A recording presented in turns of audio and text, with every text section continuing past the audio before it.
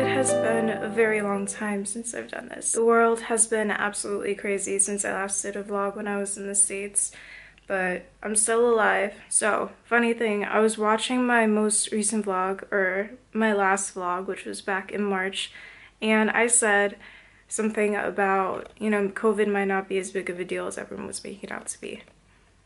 Needless to say, I was very wrong, but nobody in the States really knew what was going on at that time. It has been a whirlwind of a year. A lot of people are saying, I bet you didn't see that in your 2020 vision, but old jokes aside, it has been a very crazy year.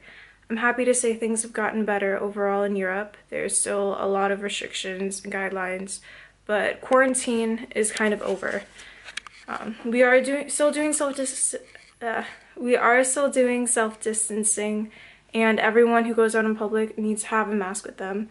Um, you guys like my mini mask? It's I think it's upside down. So this is my mask for today. But um, yeah, the rules are a little different. Things got really crazy here and for quite a while it was very serious. We used to, we had to have work permits um, that in case we got pulled over by the polizei, we're like, we are allowed to be out. We're not just doing our own thing. Um, I'm an essential employee sort of thing. But I'm currently in Bonn, Germany for two days, just kind of exploring the city, doing all the safety precautions. Things are a lot better here than in the States, and I'm very thankful for that. And I have been praying for everyone over there that things will get better and that if everyone does their part, that things will eventually normalize. And here we go. And there comes my father.